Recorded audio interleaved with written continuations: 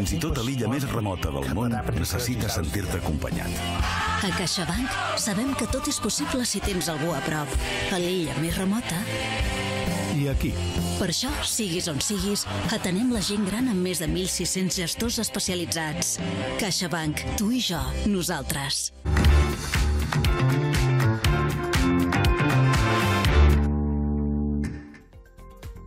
Hola, molt bon dia. Us donem la benvinguda a una nova edició de l'Ebre al dia en el que avui estarem atents a la nova campanya d'immunització del virus respiratori sinicial causant de la bronquiolitis que ha començat ja a les Terres de l'Ebre i que enguany s'estima arribarà a 1.500 nadons. Este serà un dels temes que tractarem en el programa d'avui dimarts 17 de setembre. Per endavant, dues hores de programa amb actualitat, entrevistes, tertúlia i molts altres continguts. Com sempre, siguen totes i tots molt benvinguts a l'Ebre al dia. Avui, dimarts 17 de setembre, l'actualitat ens portarà a parlar de l'inici de la campanya d'immunització contra el virus respiratori sincicial a les Terres de l'Ebre. L'any passat, la campanya va reduir en un 52,6% les hospitalitzacions per bronquiolitis al nostre territori. A l'espai de l'entrevista avui rebrem a l'alcalde d'Amposta, Adam Tomàs, amb qui abordarem l'inici del curs polític a la capital del Montsià. En temps de tertúlia, com sempre, analitzarem l'actualitat avui amb la presència del periodista Manel Ramon, director d'Amposta Ràdio, l'exalcalde d'Amposta i exdiputat Josep Maria Simó. I també ens acompanyaran la professora d'anglès i regidora d'Amposta, Núria Marcó, i el periodista Josep Pitarc. A l'última part del programa parlarem del festival Les Nits de Tírica, que arriben al Canà del 19 al 22 de setembre. En parlarem amb l'agitador cultural Àlex Espuny i amb el regidor de Cultura d'Alcanar, Javier Barrera.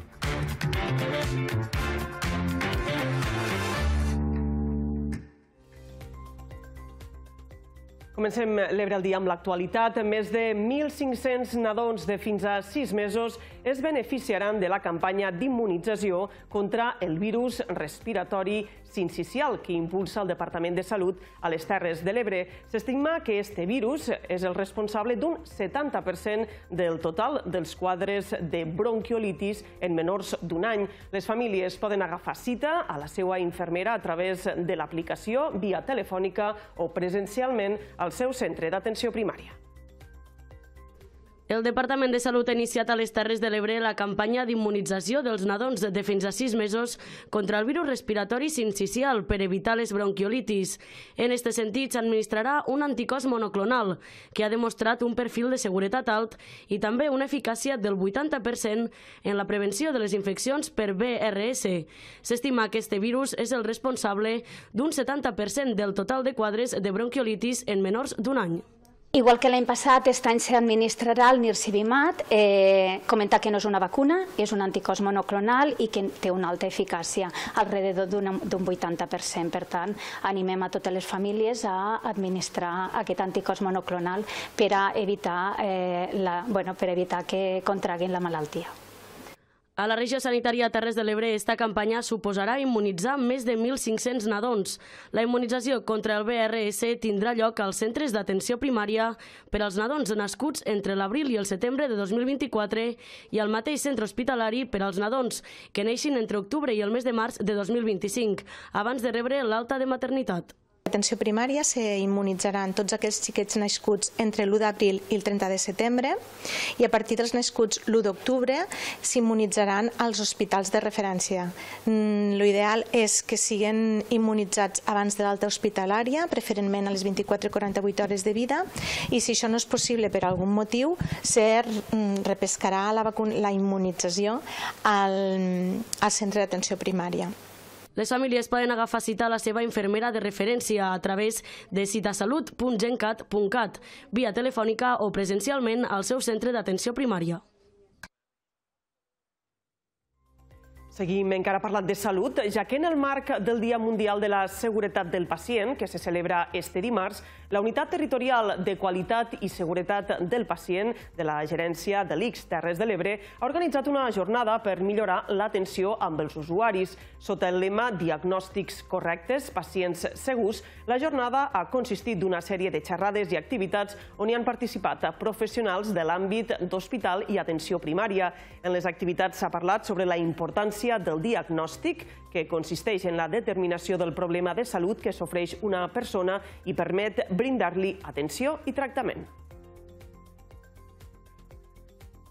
És important que dintre de tots els professionals sanitaris actuéssim com a equip en tots els àmbits d'atenció primària, atenció hospitalària, de cara a consensuar protocols, a treballar de manera conjunta per un diagnòstic correcte, perquè això repercutirà en moltes altres coses de manera secundària, en analítiques, en proves d'imatge, en tractaments, que d'això de no ser correcte pot crear danys innecessaris uneix tant atenció primària com atenció hospitalària, que això és un punt molt a favor del nostre territori, i a part també engloba totes les, les persones, els professionals sanitaris que estem implicats, tant eh, metges, enfermeres, les referents de, les, de qualitat assistencial del nostre territori. Fer les coses amb qualitat i seguretat és responsabilitat de tots eh, i eh, el que volem fer és compartir experiències eh, per part de tots per així també eh, fomentar el que és la cultura de, de seguretat a tots els nivells.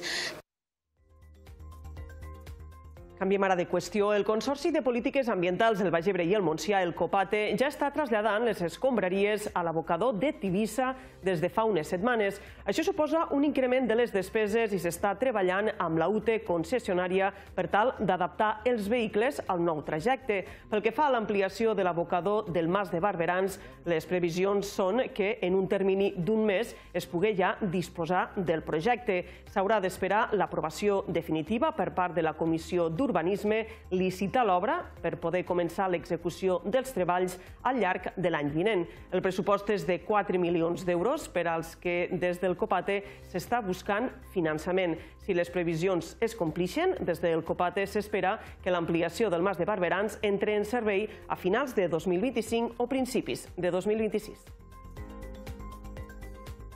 està al caure, però la brossa ja està marxant a, a Tivissa principalment perquè el mas està, no diria al 100, però està al 99 i escacs per cent. I ens aguardem eh, una petita bossa per a alguna, en el cas de, de la vaga ens hagués servit per a poder anar dipositant coses d'emergència. De, I esperem ja que sigui de la, la, en la brevetat més curta i que, si podem, al 2026 ja tornéssim a, tinguéssim l'ampliació de, de la fase 4 de l'abocador del Mas en marxa i ja poguéssim tornar a dipositar els residus a, on toca. Parlem ara de turisme. Els empresaris turístics del Delta de l'Ebre han fet una valoració força positiva de la temporada d'estiu. Tot i assolir nivells superiors a la prepandèmia, un dels trets més destacats ha estat el de l'equilibri entre la quantitat de visitants i la qualitat de l'oferta que s'ofereix. També s'observa un clar procés de desestacionalització, ja que la temporada s'allarga des del maig i fins ben entrat l'octubre. És per això que per a seguir atraient visitants és fonamental l'oferta oferta d'activitats que s'ofereixen. En aquest sentit, és clau l'aliança entre les empreses i la col·laboració público-privada. De turístics de, del Delta de l'Ebre estem contents, ha estat una temporada bonica. Jo penso que és un, un bon qualificatiu perquè hem tingut una afluència de visitants prou important, que hem pogut omplir les, les, les places d'allotjaments, de càmpings, hotels i, i cases, i també el tema de les activitats ha funcionat prou bé. I dic bonica perquè hem tingut com una, com una mica l'equilibri perfecte entre quantitat de visitants i qualitat de la que nosaltres podem donar a un, sense massificacions i sense mm, les quantitat de persones que havien vingut just després de la pandèmia. Tot i així, estem superant el nivell de visitants que hi havia prepandèmia. Formant aliances les empreses del territori perquè eh, poguéssim donar un millor servei, un servei de qualitat, i penso que això és el que, el que hem de fer, no? anar tots a una, eh, i penso que, que el Delta com un lloc de, que rep turistes ha de ser una destinació turística, l'hem de treballar com a tal i així ho estem fent les empreses privades també i també en col·laboracions público-privades en ajuntaments. Ens quedem encara al Delta de l'Ebre, en concret anem fins a Deltebre, on s'encara ja la recta final de les obres a l'antiga cambra arrossera de la Cava. Este emblemàtic espai esdevindrà un espai per al foment de l'emprenedoria amb nou despatxos, dos sales de reunions i una zona de coworking amb 24 punts de treball. L'equipament també disposarà d'una àmplia sala diàfana on poder celebrar esdeveniments, una sala específica de formació, un espai de museïtzació i serà seu seu dels Consells Sectorials de Dones i de Joventut. L'actuació, comptant la urbanització de l'exterior, ascendirà a 2.800.000 euros, finançades en un 65% per una subvenció dels fons Next Generation, que ascendeix en aquest cas a 1.800.000 euros. És la subvenció més alta d'esta línia de la demarcació de Tarragona. Està previst que la Rosera inicie la seva activitat al públic durant el primer trimestre de l'any vinent un espai que dignifica l'entrada del municipi, que ara, com dia al principi, doncs estem al tram final de lo que és les obres. Eh, la idea és que durant el primer trimestre de l'any 2025 poguéssim ja començar eh, a donar-li contingut d'emprenedoria en, este, en esta rosera i que ara ens queden pues, uns mesos per acabar tot el que seria la urbanització exterior, tot el que seria eh, els complements de mobiliari i d'equipament. Aquí pues, ha la casa de l'emprenedoria en femení i jove. Ens desplacem ara a Tortosa. L'Ajuntament ha iniciat la renovació de la vorera del carrer Vergés Paulí, al barri del Temple. Aquestes obres van ser reivindicades per l'Associació de Veïns del Temple. Suposen una inversió de més de 40.000 euros i tindran un termini d'execució de 4 setmanes. Se tracta d'una de les actuacions incloses al segon Pla Cuidem, que també inclou la pavimentació del carrer Joan Miró, així com la millora de la il·luminació dels passos de vianants del carrer Enric Dossó i del passeig Ribera. És una millora necessària que s'havia reivindicat eh, des de feia temps des de l'associació de veïns del barri i finalment eh, en este segon pla Cuidem des de l'Ajuntament de Tortosa eh, just ara fa uns dies van iniciar, eh, vam iniciar les obres eh, de, de millora no, d'esta vorera. Una millora que era necessària perquè estava en molt mal estat, per la climatologia, pel pas dels temps, no s'havia actuat eh, des de feia molts anys el restaurant Viena de Tortosa tancarà les seues portes a finals de setembre, després de més de 15 anys d'activitat a l'antic Mercat del Peix. Per això, des de l'Ajuntament de Tortosa esperen que l'espai no es quede buit i es pugui trobar ràpidament un nou establiment.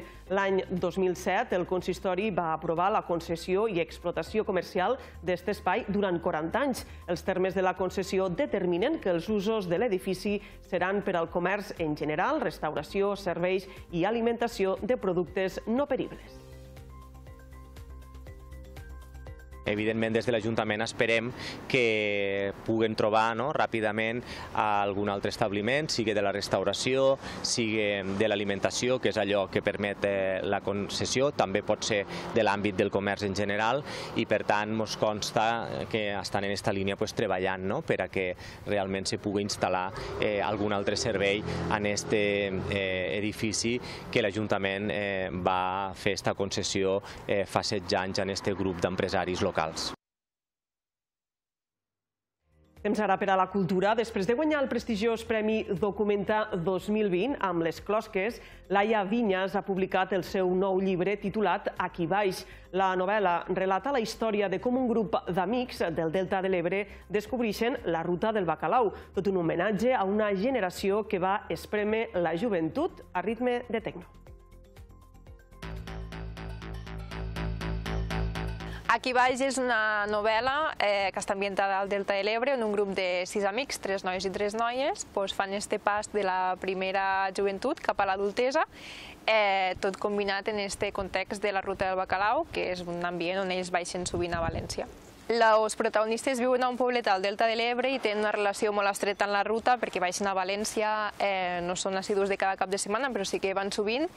I tracto també com aquesta cosa de proximitat que hi ha sempre entre el País Valencià, la protagonista també és de Barcelona, hi ha com estos tres punts on les Terres de l'Ebre sempre estan una miqueta al mig, Al llibre no parlo només d'aquestes nits de festa, sinó que també intento d'alguna manera reflexar el que és la vida de la gent que feia la ruta o que sortia molt de festa, eh, que és la seva vida entre setmana. Vull dir, com ells arriben un dilluns al matí o un diumenge a la nit i el dilluns han d'arrencar a treballar a les 6 o les 7 del matí, quin tipus de feines tenien i quina vida tenien que se veien en la necessitat d'anar-se'n de festa 3 o 4 dies seguits per a gent que suposo que ha viure la ruta del Bacalao, sí que és veritat que crec que s'hi podran identificar i podran reconèixer llocs eh, i situacions, segurament, tot i que sí que és veritat que, com dia abans, és tot ficció i, per exemple, el nom de les discoteques no apareix com a tal al llibre, sinó que volia d'alguna manera donar-me certa llicència artística i poder ficcionar-ho tot d'alguna manera. Però sí que és veritat que hi ha un context que m'he documentat i que he investigat i que espero que ressoni a la gent que sí que va viure aquella època.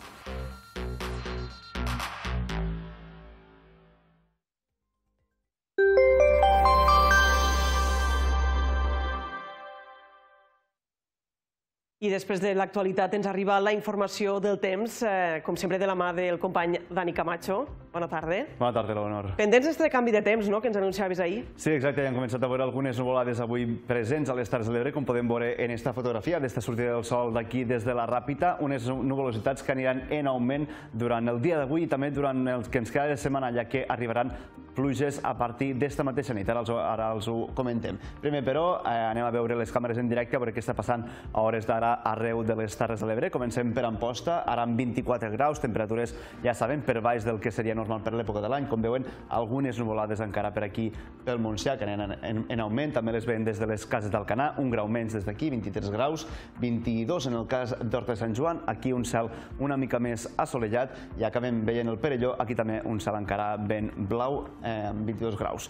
També eh, pendents del mapa d'avisos del Servei Meteorològic de Catalunya, ja que avui a partir de les 10, les 11 de la nit, s'ha traçat una mica respecte al que els explicàvem ahir, ja podrien començar a arribar les pluges començaran a arribar per la costa central i baixaran eh, fins a la costa ebrenca, per tant molt de compte, sobretot al Delta de l'Ebre, també cap a la costa del Montsià i també per al dia de demà eh, s'activen els avisos per a, acumulació de pluja, per tant molt de compte amb aquestes petites o grans inundacions que es podrien donar eh, durant el dia d'avui i de demà. Eh, les temperatures, com amb, se mantenen una mica igual que ahir, han baixat un o dos graus, màximes entre 25, 26, 27 graus com a màxim a l'Aldea, per exemple, però queden una mica més curtes cap a la Terra Alta, 23 per exemple a Batea. El vent ha anat en disminució ara a les hores del migdia, tot i que a la nit ha sigut eh, una intensitat mitjana alta, 60 km de ratxa màxima, per exemple, al Perelló, i esta nit torna a activar-se també amb l'arribada d'esta pertorbació. Per tant, com diem, eh, les pluges arribaran esta nit, a partir, ho, faran a partir de les 10, les 11, inclús les 12 de la nit, aniran baixant, com diem, des de la costa central i aniran afectant les Terres de l'Ebre entrant per la, per la costa, eh, estaríem parlant dels termes municipals de la Mella de Mar, el Perelló, i aniran baixant cap al Delta de l'Ebre i també afectaran eh, els termes d'Alcanar. Allí podria eh, ploure en molta intensitat, eh, se podria quedar entre el sud de les Terres de l'Ebre i també el nord del País Valencià, algunes, alguns registres força alts durant aquesta nit i matinada a partir de les 4 de 5 del matí. Demà eh, també esperem eh, força pluges durant tot el dia. Se quedaria una mica més al marge de la Terra Alta, no descartem alguna gota, però menor intensitat sí que n'esperem a la Ribera i sobretot més cap al litoral del Baix Ebre i del Montsià. Una tònica que ens espera també per als pròxims dies, dijous, divendres i dissabte, i encara aguantaria fins diumenge i inclús fins dilluns de la setmana vinent. Per tant, inestabilitat tota la setmana. Llavors, Leonor. Haurem d'estar molt pendents, no? sobretot esta nit i, i demà, de, de l'evolució d'aquestes tempestes, d'aquestes pluges. Seguirem aquí des de, des de l'Ebre al dia. Moltes gràcies, Dani. Exacte, esperem que no faci mal. Ens veiem després i nosaltres ara fem una petita pausa per a la publicitat. Tornem tot seguit amb l'entrevista. Avui rebrem a l'alcalde d'Amposta, Adam Tomàs.